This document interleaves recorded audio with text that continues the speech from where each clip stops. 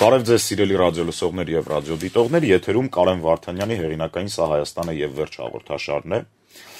Այս անգամ էլ ու հավանաբար հետ այսու տաղավարում պարոն Վարդանյանի հետ որպես երկրորդ խոսափող կաշխատեմ ես Դավիթ Գումարյանը,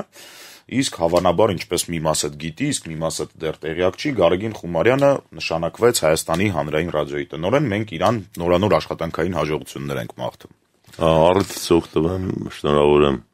Գարեգինին շատ կարևոր մեր երկրում շատ կարևոր գործառույթ այդ բանը վստահելու ստանձնելու համար եւ ձեզ շնորհավորում եմ 106.5 ուրեմն ռադիոյի ղեկավարությունը ստանձնել համար, որը ոչ պակաս կարևոր է կարծում։ Շնորհակալ եմ շատ։ Պարոն Վարդանյան, ինչպես մենք տեղեկացանք, շաբաթվա ընթացքում տեղի ունեցավ ձեր միության հերթական նիստը։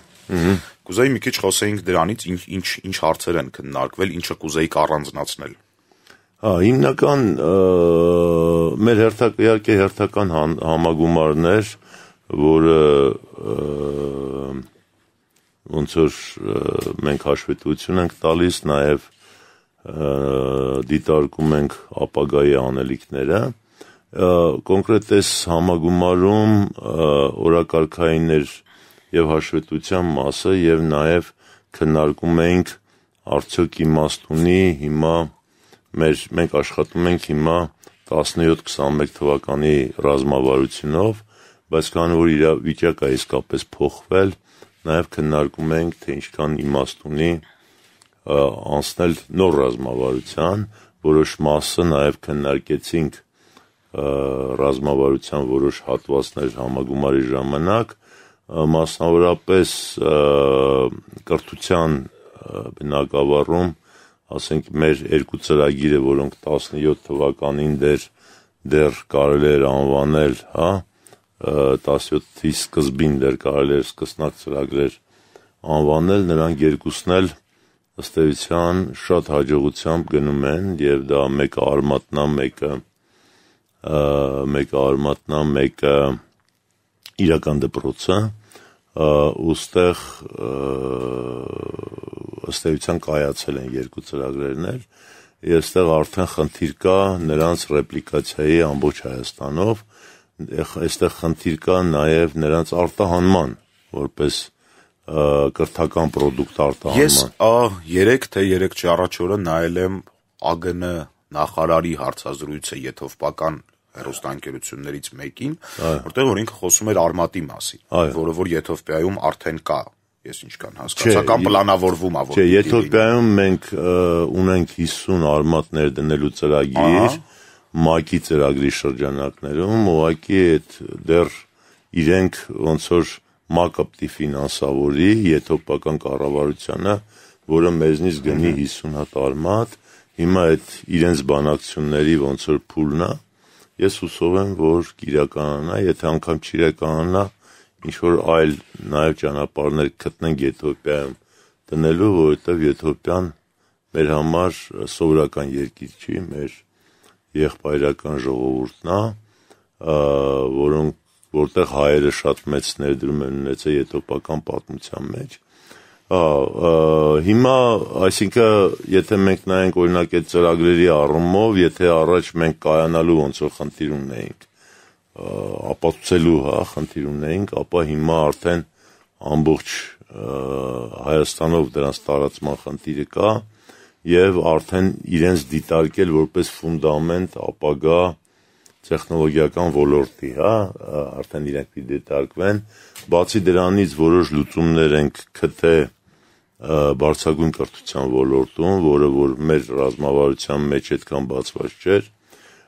Ինչ վերաբերվում է բանին Հայաստանի կրթական բրենդին, ակնհայտ դա որ ինքը տենց ակտիվ գործողությունների կարիք ունի։ Իհարկե մենք հիմա ունենք Վայ Արմենիա կայքը, շատերը այդ կայքի միջոցով հա- գալիս են Հայաստան, շատերը իրենց պարտներներին գտնում են Հայաստանում եւ այլն, բայց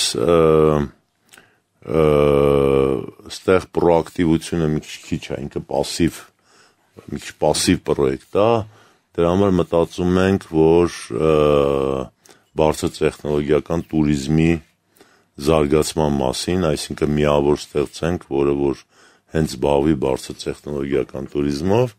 եւ հենց շատ պրոակտիվ ձևով ինչի Հայաստանը մենք առաջադրենք, որովհետեւ մենք հիմա շատ ցույց տալու բան ունենք, այսինքն բացի բացի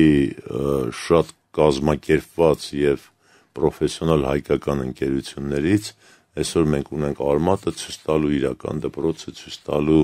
տարբեր տենց պրոյեկտներ ցույց տալու ռազմարդյունաբերական որոշակի բարձր տեխնոլոգիական հատվածը ցույց տալու եւ այլն, այսինքն այդ ուղությունն է բանա ցավալիորեն դի նշեմ, որ էլեկտրոնային կառավարման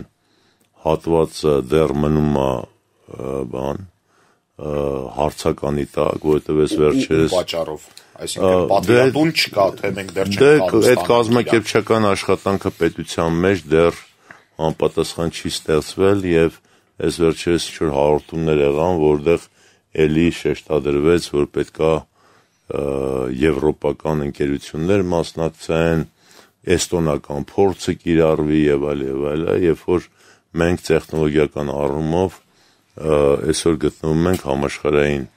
մակարդակների վրա եւ ամեն ինչը մենք ինքներս կարան կազմակերպենք, բայց դա կարևորը այդ խնդիրը չի, կարևորը որ էլեկտրոնային կառավարում նշանակում է քաղաքացու տվյալներ, իսկ եթե դու տալիս ես դրսի ընկերությանը, ապա դու քո քաղաքացու անձնական տվյալները ըստ էության ճանապարհ ես բացում, որ քեզնից վերցվեն որ որը անթույլատրելի է եւ դա իմ կարծիքով ազգային անվտանգության ծառայության հիմնական գործառույթն է ընդհանրապես էլեկտրոնային կառավարման սերվերները պետքա դրացնեն ազգային անվտանգությունում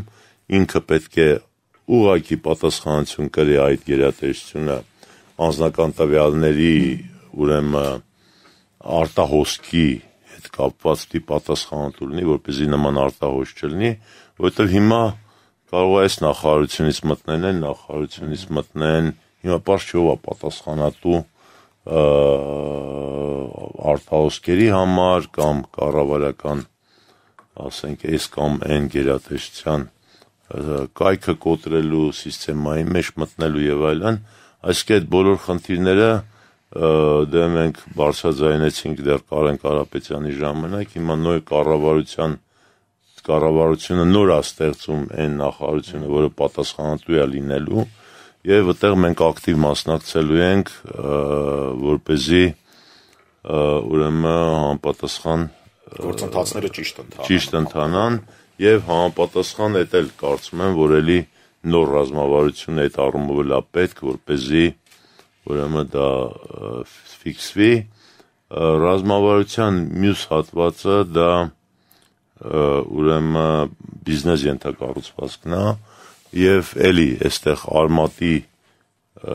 արմատի զարգանալու հետ առաջանում է լուրջ խնդիր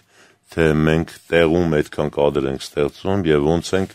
նենց անելու, որպեսզի այդ կադրերը մնան տեղում եւ մենք գյուղերում, քաղաքներում փոքր ունենանք ձեռնարկություններ, նրանք ոնց են տեղակայվելու եւ այլն, այսինքն բիզնես ենթակառուցվածքը եւս ուրեմն մնում է խնդիր, այսինքն այդ դա մեզ ընդհանուր ցույց տվեց քննարկումները, որ ինքը նոր ռազմավարությունը օրասական այսօրվա խնդիր է ու ամենայն հավանականությամբ մենք դա կսկսենք բանի համաշխարհային կոնգրեսից հետո երևի հոկտեմբերի վերջից արդեն նոր մշակումները կսկսենք, նոր քննարկումները ռազմավարության, կարծում եմ համաշխարհային կոնգրեսներ մեր նոր գաղափարներ կտա, թե համաշխարհային զարգացումները ոնց է գնում,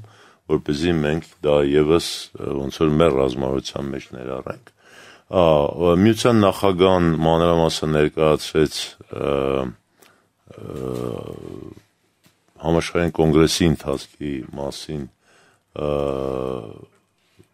բան այսինքն մենք այսօր շատ խոշոր ասենք օրակլի ղեկավար ենք սպասում ուրեմն Բարակ Օբամա, այսինքն այս կարգի դեմքերի հետ են կապվել եւ հրավիրել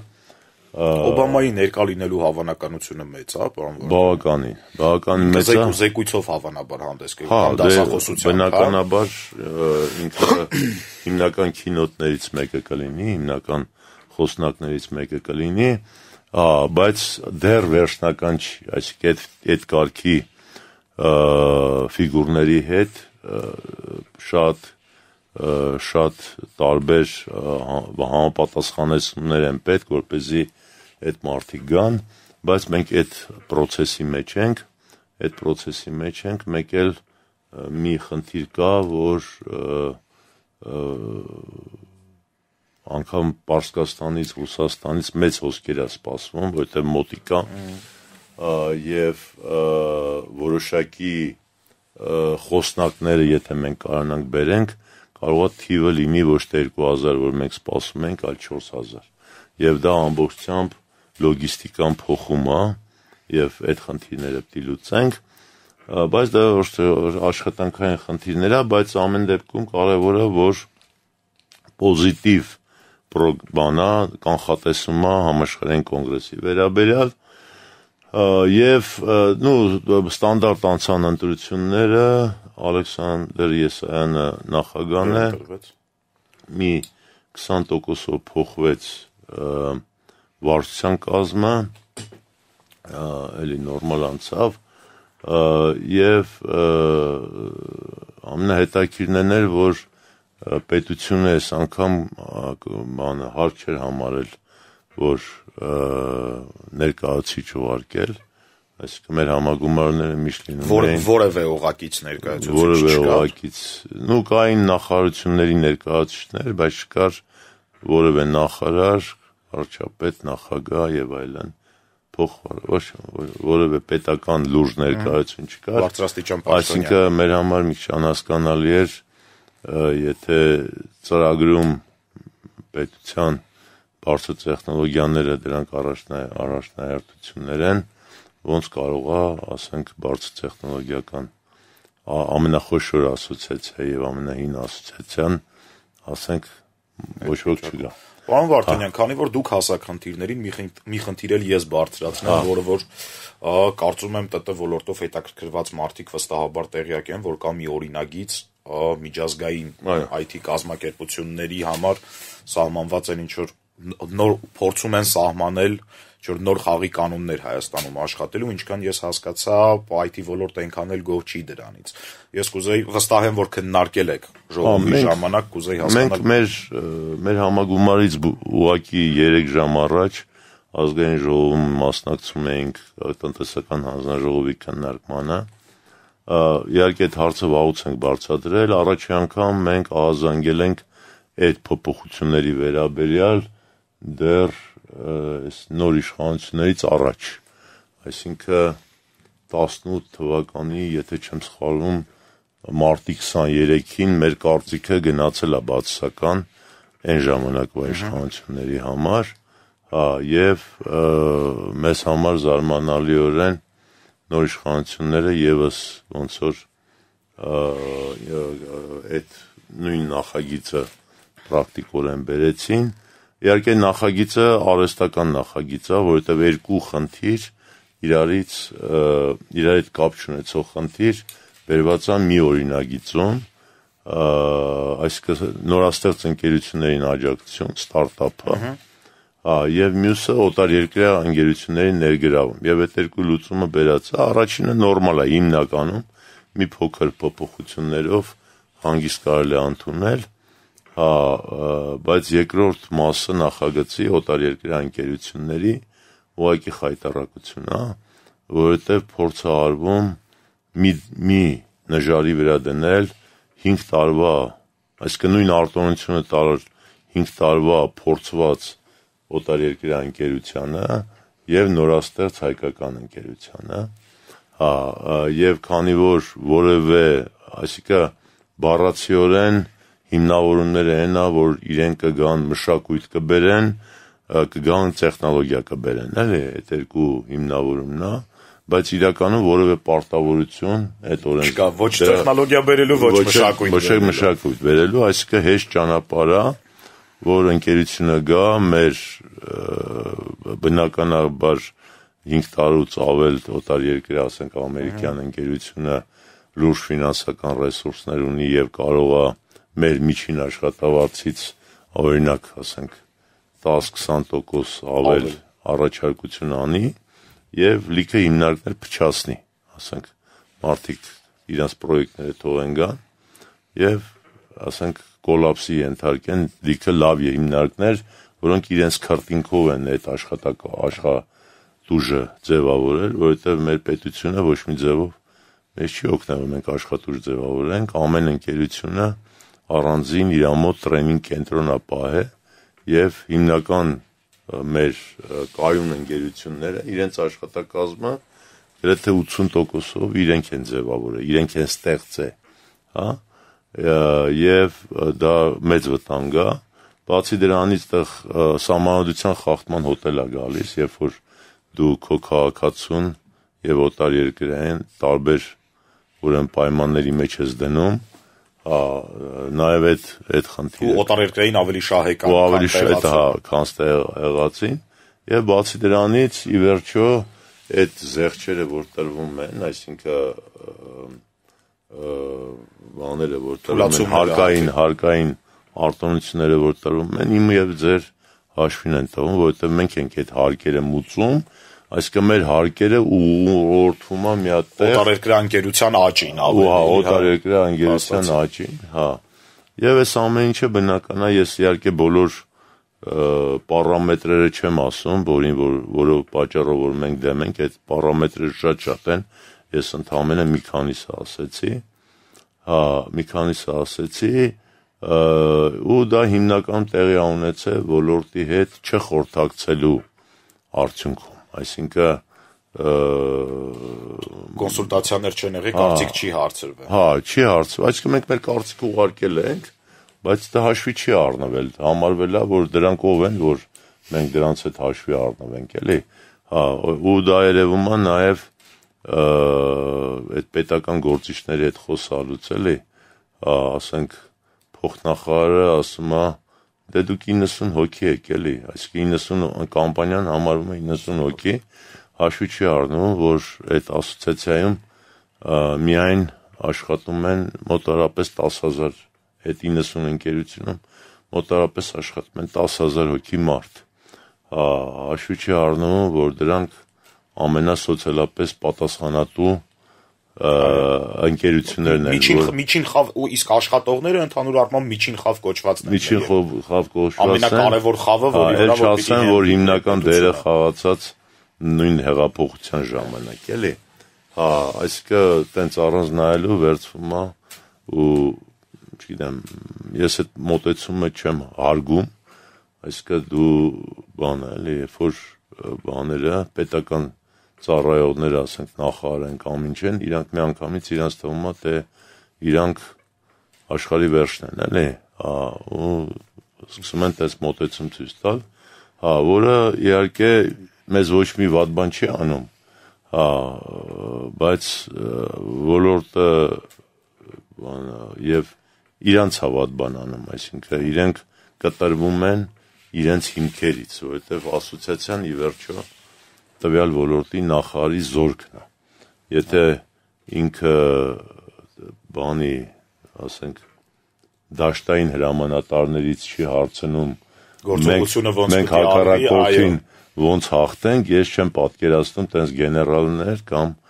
ասենք մարշալներ, որոնք կամ տենց հա- կամ տենց հաղթանակ ընդհանուր կամ տենց ընդհանրապես հաղթանակ, որը առանց դաշտային հրամանատարների արվում, էլի։ Ու ես կարծում եմ, որ դա իհարկե ճիշտ մոտեցում չէր, հուսով եմ, որ սա որպես դաս կծառայի, բայց դա փիլիսոփայական սխալ է, որը որ այս նոր նախարարից չի գալիս, դա վաղուց է գալիս, դեռ Ներսես Երիցյանից է գալիս, երբ որ ու իր հետնորդներն է կան, որոնք ասենք հիմա մեր նոր նախարարի շուրջն են, որ որոնք որ այդ բանը անում են, որոնք որոնց թվում է թե մեր ոլորտի զարգացումը պետքա սկսվի օտարերկրյա ընկերությունների ներգրավումից։ Իհարկե դա կարևոր խնդիր է, բայց դա երկրորդական խնդիր է, առաջնային խնդիրը դա տեղական ընկերություններն են ու ես մի քանի անգամ ասել եմ ու արդեն իմ խոսքն էլ արդեն իրան կարում են բան են, էլի խոսքս փոխեն, հա, բայց այդ իմ խոսքը չի, Գրեգ Բարետի խոսքն է, բայց իրանք արդեն Գրեգ Բարետի վրայից էլ են թռնում, հա, Գրեգ Բարետը, երբ որ ստացավ Հայաստանի նախագահի մրցանակը, դա երևի թե 9-10 տարի առաջ էր, հա, երևի 2008 կամ 9 թվականներ էլի, հա, չեմ հիշում, ինչ թվում այդ կոմերներ, հա, նա մի հատ հավաք արեց Սինոպսիս ընկերության գերասենյակում եւ արդեն ինքը մեր այսպես ղեկավարների հետ խոսել էր, հա, ու ինքը զարմացած sense իր խոսքը սկսեց, ասեց, ես ձեր ղեկավարներից լսեցի, որ դուք կարծում եք, որ ոլորտի զարգացումը պետքա լինի ուրեմն խոշոր ներազգային կազմակերպությունների ներգրավումով, ապա ես ձեզ ասում եմ ոչ։ Անկամ Intel-ը, որ Intel-ը, իսկ ինքը Intel-ի պրեզիդենտն էր նախքին եւ նախագահի խորհրդականներից է բարձր տեխնոլոգիաների, որ Ամերիկայի Միացյալ Նահանգների մնում է, էլի, եւ եւ նաեւ ռազմարդյունաբերության։ Ասում եմ, ես ձեզ ասում եմ, որ Intel-ը դա Ամերիկայի տեխնոլոգիական հզորությունը չի։ Ես ձեզ ասում եմ, որ Oracle-ը դա Ամերիկայի տեխնոլոգիական հզորությունը չի։ Ես ձեզ ասում որ Synopsys-ը դա Ամերիկայի տեխնոլոգիական հզորությունը չի։ Ամերիկայի տեխնոլոգիական հզորությունը դա այն հազարավոր, տասնյակ հազարավոր ձեռնարկություններն են տեխնոլոգիական, դրանց մեջ կան եւ գիտայզական եւ այլ էլի, որոնք sense գետի նման հոսում են ու երբ որ ասում է նրանցից որևէ մեկը համընկնում է իր այդ օրվա գործնեությունը շուկայի հետ, ինքը ուռում է դառնում է Apple, ինքը ուռում է դառնում է Synopsys, ինքը ուռում է դառնում է Intel։ Հա, բայց այդ այդտեղի գետից է սկսվում։ Հա։ Հա, եւ ամենածիծաղալին այն էր, որ բանը ու հետո արդեն ուրիշ process է գնում։ Apple-ի շուրջ հավաքվում են էլի փոքր ստարտափներ, այո։ Հա, հիմա ուրեմն այդ իրական process-ն է, էլի, հա։ Պարոն Վարդանյան, եկեք այսպես անենք։ Ու մեր այդ բաները, ղեկավարները հիմա սկսել են իմանալով, որ ես այդ Գրեգ Բարետի խոսքերը տարածում եմ, հիմա դրա տակից ոնց դուրս գան։ Հա, բանա, հիմա ասում են, բայց չէ որ այդ տասնյակ հազարավոր տեխնոլոգիական ընկերությունները ստեղծվել են այդ խոշոր ընկերություններից։ Ես ուրեմն նկարագրում եմ, որ խոշոր ընկերությունը ոնց ստեղծվել։ Այո։ Հա, ու իրանք հիմա բանը շուռ են տալի, բայց չէ որ ասում է, եթե այդ խոշորները չլինեին, այդ գետը չէր լինի։ Հա, այսինքն բացարձակ բան սոֆիստիկա է, հա, այսինքն ու երկրի շահի իրական շահերի հետ հաշվի չնստել է, էլի։ Մենք շարունակելու ենք հետևել IT համայնքի ու իշխանությունների հարաբերություններին ու համագործակցությանը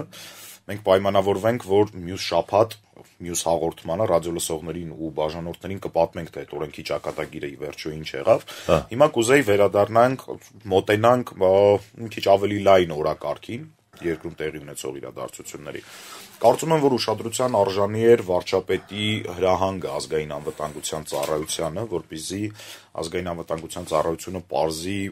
ֆեյք օկտատերերին եւ ֆեյք լուրեր տարածողներին։ Ահա եւ մոտավորապես մի օր հետո կամ թե հենց նույն օրը ազգային անվտանգության ծառայության պետը պարոն Վանեցյանը զեկուցեց, որ գտնվել է եւ ձերբակալվել է, եթե ես չեմ սխալվում, դուխով Հայաստան բաց հասարակություն fake հաշվի սեփականատերը օգտագործող։ Ես կուզեի դուք ձեր կարծիքն ասեիք ընդհանուր առմամբ որտեղ այն կետը, երբ վերջանում երբ վերջանում է խոսքի ազատությունը ու շատ կոպիտ ասած ափրցփր խոսալը սկսում է վտանգել ազգային անվտանգությանը։ Դե տենց ազգային անվտանգություն ենք ասում, ուրեմն ինչ որ վտանգ կա ազգային օրակարգին, չէ՞։ ասկեն ազգային անվտանգություն չի համար աշխատում, որպեսզի ազգային օրակարգին վտանգ չսպառնա։ Վտանգ չսպառնա։ Հիմա ես չգիտեմ մեր ազգային բանը օրակարգը, հա? Այսինքն fake-ը ի՞նչ է, fake-ը դա պարազիտ է։ Fake-ը պարազիտ է, ցանկացած պարազիտ կպնում է մարմնին ամենաթույլ տեղին։ Նա երբեք իմունիտետ ունեցող մարմնին չի կպնում, չի կարա կպնի, հա? Ինչ է նշանակում պետության դեպքում իմունիտետ ունեցող մարմին։ Դա նշանակում է մարմինը, որը ունի ազգային օրակարգ, որը ունի հաղթանակի պատկեր, ունի ազգային օրակարգ։ Հա, օրինակ մենք դրա մասին շատ ենք խոսել, բայց երբ որ օրինակ օտար երկրի հետախուզությունը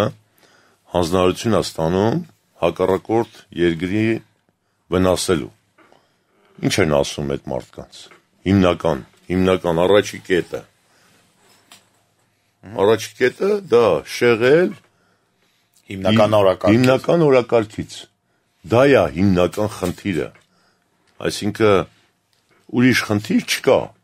Հա, ու ֆեյքերն էլ համոզված են, որ մեծ մասը, որտեղ ֆեյք ինչ է, դա փող է։ Հա, դա այսինքն կա իհարկե կարող է մի երկու հատ իդիոտ լինի, որ ասենք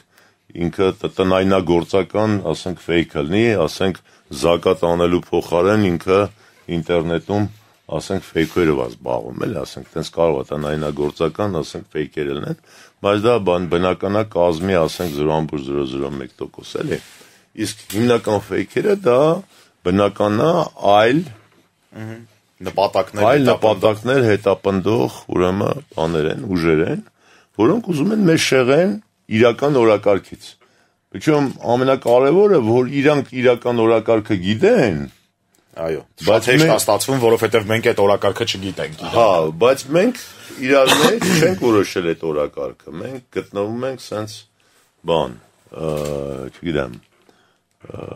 բանը, կաֆեի երգիր ենք, էլի ասենք մենք հայեցը կարգային։ Ձեր կարծիքով մենք կարանք արձանագրենք, որ ֆեյքերի աննախադեպ աճը, հա, ու այն որ իրանք արդեն ռեալ սկսում են խանգարել, որ նույնիսկ երկրի առաջի դեմքն է դա նկատում, կապ ունի նաև նրա հետ, որ կառավարությունը հստակ չի կարողանում հասարակության հետ շփվի ու հասարակությանը բացատրի, թե մենք ուր ենք գնում։ Այո, հաղթանակի պատկերը դա։ Չնայած ինքը կա, Ես էլ եմ կարծում, որ ինքը կա, դրա համար եմ հարցում, որ չի կարում բացատրի, հա։ Չէ, չէ, բացատրելու խնդիր էլ չկա, որովհետև ինքը օրենսդրորեն ընդունված է մեր հիմնական օրակարգը օրենսդրորեն ընդունված է կա անկախության հռչակագիր մեջ այդ ամեն ինչը նկարագրած է որ որ մեր հանքերը պատկանում են ժողովրդին դեմոկրատիան նկարագրված, մեր սահմաններն են վերամիարված Հայաստանն նկարագրած, մեր խնդիրները հարևաններ աշխարհի հետ ցեղասպանությունը կա եւ նրա ճանաչելու խնդիրը կա եւ հատուցելու խնդիրը կա հասկանում եք այդ ամեն ինչը մեջը գրած է այսինքն ընդամենը հա ու ամենակարևորը ամենավերջում հա գրած է որ այսուհետ մեր բոլոր օրենսդրական ակտերը պետք է հիմնված լինեն սրա վրա հա հիմա մենք ունեցել ենք երեք նախագահ որոնք բռնաբարել են այս անկախության հռչակագիրը եւ առաջի գործողությունը, ես կարծում եմ իշխանության, հա, եւ որոնք ունեցել են իրենց պարտներները Լեռնային Ղարաբաղում։ Այսինքն հրճակվել է զուգահեռ պետություն եւ այլ եւ այլը, որը որ պետական դավաճանություն է։ Եվ առաջի գործողությունը նոր իշխանության պետք է լիներ երեք նախագահ այստեղ, այնտեղ չեմ անում, այնտե երկու նախագահ կա, նախկինը, այս այս մեկը եւ նրա նախկինը, հա, Արկադի Ղուկասյան եւ Բակոս Սահակյան։ Ռոբերտ Քոչարյանին չենք հաշվում ընդերից։ Երեք նախ։ Դեռ սա էս էս ցուցակով գնաց։ Հասկացա։ Այդ 5 հոգին ազգային դավաճանության համար պետք է ձերբակալվեին առաջի օրերին, երբ որ ժողովուրդը ոտեր կանգնած եւ Նիկոլ Փաշինյանը ուներ 90% բան վարկանիշ, այս 5 հոգին պետքա ձերբակալվեին եւ դատվեին անկախության ոչ թե փող ուտելու համար, մեկը Ոչ թե այնտեղ, չգիտեմ, մեկը ինչ էր կանսերվա էր գողացել, մեկը չգիտեմ ինչ էր գողացել, փող էր հանել տարել եւ այլն։ Այդ 5 հոգին մի անգամից պիտի դատվեին, ընդ որում դապտիլներ Նյուրնբերգյան process-ի նման process։ Այսինքն, երբ որ մեղավորության խնդիրը կոլեգիալ որոշվում է, դատավորը ընդհանրապես նշանակեր պատժի չափը։ Նա ինքը կարող սիմվոլիկ լինել, կարող պատիժը չլինել։ Ցմա կտար, թե կասեր ամոթանք, թե ցմա կտար, թե ամոթանք։ Ամեն մեկին մի հատ չափալախ ամեն մի հայի կողմից բան ես չեմ ամել, ասենք ինչ կլներ, բայց դա կլներ այն, որ մենք մի անգամից հստակ կասենք, այս է մեր օրակարգը եւ բոլորս կիմանայինք ինչ ենք անում եւ ինչ ենք պահանջում։ Հա, եւ ինչի շուրջ ենք միավորվել, հասկանաք։ Հա, մենք մի իսկ մենք միավորվել ենք ընդամենը Սերժ Սարգսյանին իշխանությունից հեռացնելու։ Հիմա երբ որ Սերժ Սարգսյանը հեռացավ, բոլորը հայտնվեցին պրաստրացիայի մեջ։ Այսինքն մարդիկ, որոնց նշանակել են նախարար, չեն իմանում ինչ անեն, երբ որ չեն իմանում ինչ անեն, իրանք սկսում են իրենց անձի վրա ավելի շատ կենտրոնանալ, քան թե գործի եւ այլ եւ այլ, ու տենց Ես կուզեի մի քիչ մոտենայինք խոսքի ազատության ու ու ֆեյքերի դեմ պայքարը սովորաբար օրինակ մենք շատ լավ օրինակ ունենք մենք Ռուսաստանում ենք տեսնում ինչա կատարվում հա որտեվ նմանատիպ ինչ որ օրինագծերը վերջում բերում են նրան որ մի օր դու նայում ես ու տեսնում ես որ Ռուսաստանի նման ահռելի երկրում կա պետական տոտալ վերահսկողություն բոլոր տեսակի լրատվամիջոցների, բլոգային հարթակների եւ այլն ամեն ինչի վրա։ Արդյոք չունեք մտահոգություն, որ մենք կարող է հասնենք դրան։ Դե նախ խոսքի ազատությունը մեր մոտ ընդհանրապես բան է, դեգեներացիայի ենթարկված հասկացողություն է։ Ինքը ընդհանրապես խոսքի ազատություն չի։ Հա, այսինքն այն իմաստով, որ եթե, չգիտեմ, որ գործիչի անունը տամ չեմ էլ իմանում, էլի ասենք, այնքան շատ են, հա, որ ընդհանրապես իրավունք ունի խոսալու, դա խոսքի ազատության հետևանք չի, այլ հետևանքա, որ իրապահ մարմինները վատ են աշխատես, մարդը տիպ գտնվել Բերթում, հիմա ինքը այդ մարդը տելևիզորով խոսում է, ընդ որում որպես փորձագետ։ Հասկանում ես, ինքը պատասխան չի տվել իր արասների համար, այս կործանում մի բանի եւ այլ համար, ու համարվում է, որ էսի խոսքի ազատություն է։ Ես դեռ չեմ համարում։ Նախ Հա, այսինքն այդ ձեր ձեր նկարագրած իրավիճակում մենք հաճախ զրուցում ենք, հա, իմ շրջապատում։ Արդյոք կարելի է մարդուն զրկել խոսքի ազատությունից, եթե մեր իրավապահ համակարգը լավ չի աշխատում ու ինքը բան չի։ Չէ, չէ, ուզում ասեմ դրա համար ինքը բան է, այսինքն ինքը նես թեմա է, որը որ շատ հեղեղուկ թեմա է խոսքի ազատությունը, որովհետև խոսքի ազատության մեջ բերածա մցրածա ամեն տեսակ pornokության ու այլասերացիան բանը, ռոպագանդան, չգիտեմ, պետության նկատմամբ ոտնձգությունը խոսքի ազատություն է համարվում, այսինքն մեկը ասում է ասում է խոսքի հանձն է Ղարաբաղը, որը խախտում է, չէ, անկախության հռչակագիրը։ Այդ մարդը պիտի գնա բեր, չէ։ Հա, բայց ոչ մեկ այդ մարդուն բեր չի տանում։ Հասկանալի է, հա, բեր չի տանում այսինքն եւ այլն, այսինքն մարդը ուղիղ աշխատում է հակառակորդի համար եւ այլն լիքը sense բաներ էլի ու մենք դրան sense բան ենք վերաբերում դրա համար խոսքի ազատությունը ինքը պետքա նոր սահմանումներ ունենա որ մենք հասկանանք որ նա խոսքի ազատությունը ես կարծում եմ խոսքի ազատությունը դա միջպետ պետության մեջ տարբեր կողմերի համաձայնություն է ոնց որ եւ օրենքները ասենք օրենքը ոնց է դու համաձայնվում ես որ եկեք այս օրենքը ընդունենք որ իրար վրա չկրակենք կոնսենսուսային որոշում է հասարակության հա, տարբեր շերտերի հա հա տարբեր շերտերի հիմա այդ շերտերը մեր մոտ չկան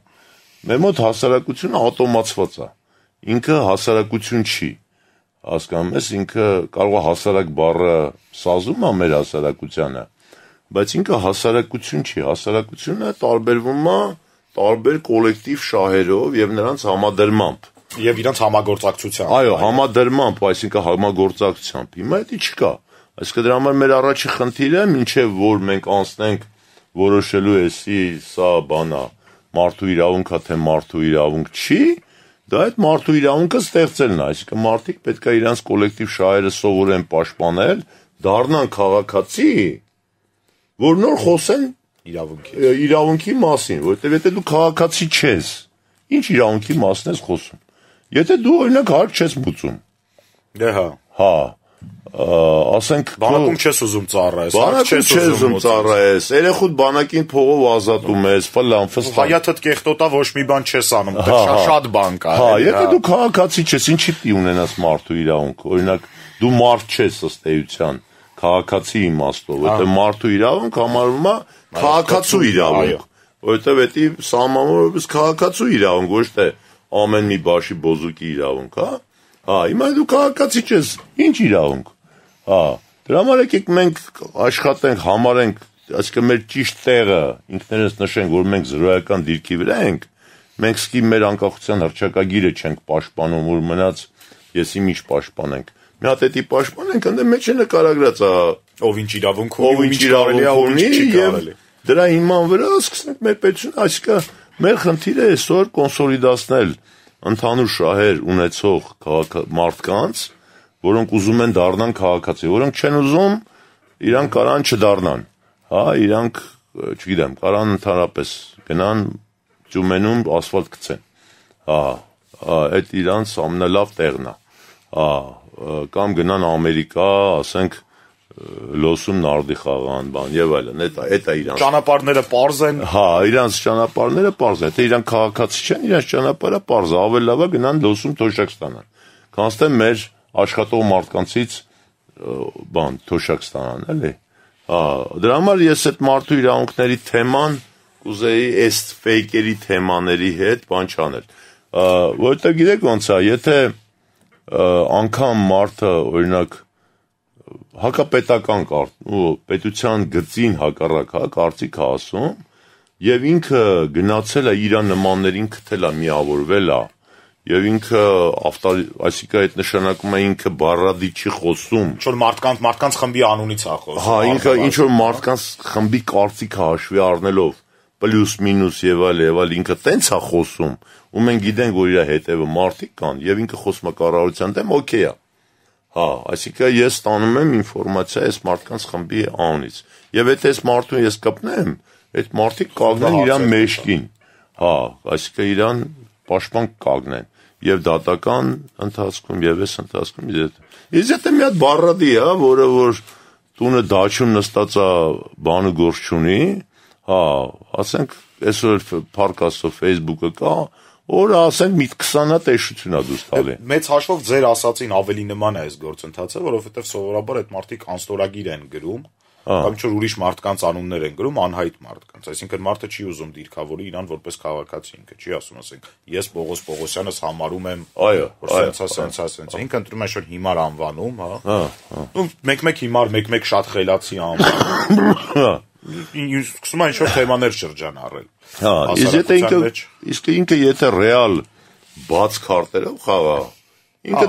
ինքը փող է ստանում այդ հիմարությունների համար, կամ ասեցին կախա, որը չի է ստանում, պրոստը իր աննասունությունից, ասենք, միտեղ նստած է պարապ, հա, գործի ուզում անի, դրսից փողը գալիս է։ Չէ, ինչ որ մեկ իրան պահում է, չէ։ Ինչ որ բան ուտում է ամեն։ Հա, ինչ որ բան ուտում է, չէ։ Հիմա գործի անում դրսից սնվում է, հա, հիմա հասարակությանն էլ վնաս պիտա, թե չպիտա, իր ապուշությունները պիտի միտեղ այդ էներգիան, որ այդ հացը կերել է, միտեղ պիտի դուրս գա, թե չէ։ Եթե դառնում է Facebook-ը, ինքը սկսում է ապուշ բաներ դուրս տալ։ Արդյոք դրանով պիտի ազգային անվտանգությունը զբաղվի։ Դուք կարծում եք, որ խնդիրը արդեն մեր մոտ այդքան լուրջ։ Չէ, ես ասացի խորքային մի քանի քայլով։ Կա ազգային օրակարգը։ Ես դուրսը այդ ազգային օրակարգի մասին տեղյակ եմ հուսով եմ ներսնել հուսով եմ որ ազգային անվտանգության ծառայությունն էլ ան տեղյակ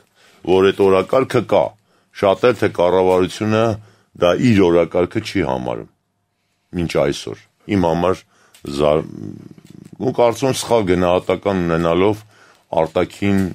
իրավիճակի մասին հա երբ որ սա հայտարվի հիմնական օրակարգ սրա շուրջ մարդիկ համախմբվեն այդ ֆեյքերը ինչի վրա պետք է աշխատեն Հա, այսինքն երբ որ մարդիկ ամեն մեկ իր խնդիրը գիտի, դու իրեն չես կարա շեղես։ Հա, դու իրեն կարող ես շեղես, երբ որ մարմին չկա, ինքը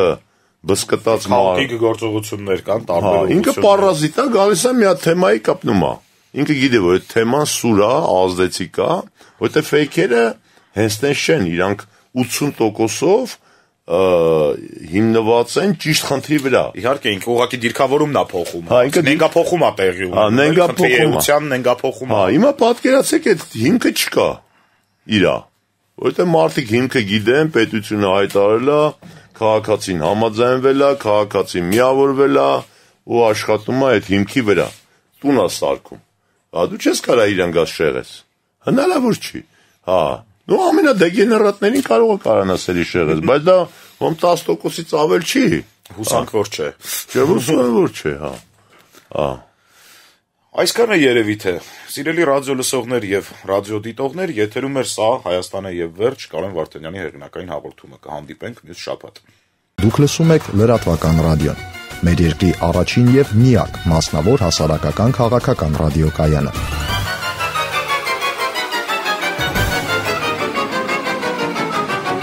Լրատվական ռադիո. FM 106 եւ 5